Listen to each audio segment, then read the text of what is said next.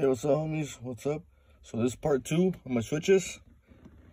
This is how they end up being at the end. I know they don't match. They will. So sturdy right there. It's not going anywhere. And then the switch button for the lights. There you go. So you think, like, subscribe. Peace.